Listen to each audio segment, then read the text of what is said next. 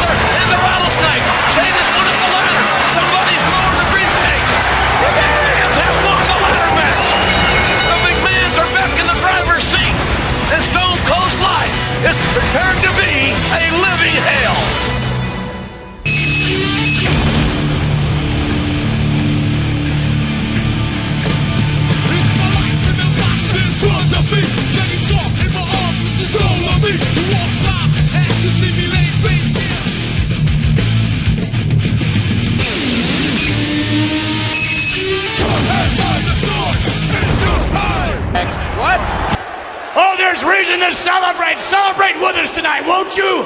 Yes. Yes, we will.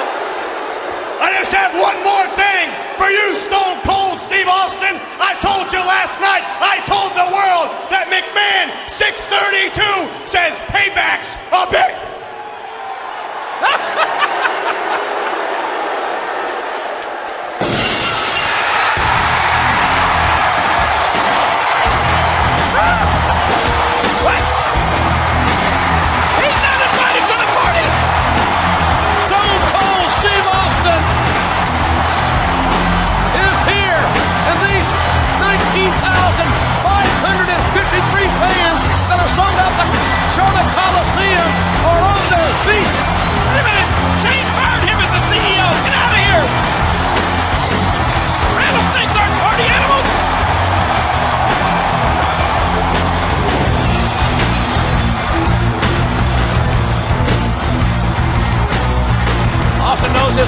About to be a living hell here.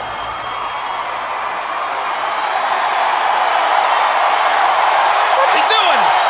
Look at the intensity in the rattlesnake's eyes. There ain't a lot of use in talking about that match last night because the picture showed at the beginning of our show exactly what happened. Stone Cold Steve Austin beat your asses, and when I went to get that briefcase, someone pulled a little string. That's a fact. Sour grapes. Hey, long story short, it was a bunch of BS. But knowing Vince, knowing you and that little bastard son of yours like I do, You can't say that. Not the CEO anymore. knowing that I might get screwed. Oh, Stone Cold Steve Austin took out a little insurance policy, and I'll tell you what it is. What's he talking about? Insurance policy. Vince, last night before that match, old Stone Cold wrote himself up a new contract. So when you look at that contract and you see those extra zeros, when you look at Stone Cold Steve Austin, you will know where that extra cash goes. What? He, he made himself a new contract. Why not? He's Secondly, and look at me with your little beady eyes when I speak to you. You remember that clause you had a while back? It said, I could never assault you unless you actually physically provoke me. Well, that's all been changed.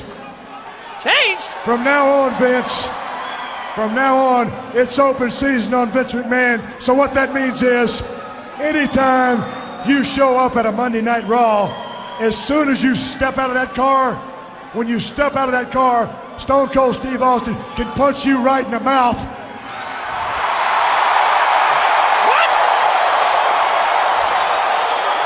And the only thing you can do about it, Vince, is reach down, pick up your little teeth, put them in your shirt pocket, and go on about your business. You mean while he was still the CEO, he wrote himself Now a new contract?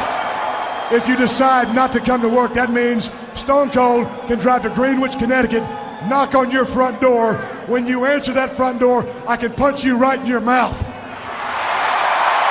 That's assault. And the only thing you can do about it is pick up your little teeth, put them in your shirt pocket, and say, Linda, Stone Cold knocked out some more of my teeth. Look at me, you son of a bitch. When I was the CEO, I said, at a time and place determined by me, I would once again be the World Wrestling Federation champion. So, said it all right. I said, look at me, you bastard, knowing that I might be screwed at King of the Ring on June 27th. I booked on June 28th, 1999 in Charlotte, North Carolina, a World Wrestling Federation title match. A title match tonight. Oh no, wait, no, no. So let's So what I'm saying is this. What I'm saying is, if you want to see Stone Cold versus The Undertaker for the WWF title, give me a hell yeah! Oh no no no no no no! That's that was almost it, but not quite. Also, the stipulation tonight, Vince, if any one some bitch from the back gets within 10 feet of that ring, that big dead bastard is disqualified, and Stone Cold Steve Austin is still the World Wrestling Federation champion. And that's the bottom line, because Stone Cold said. Oh man, yes indeed.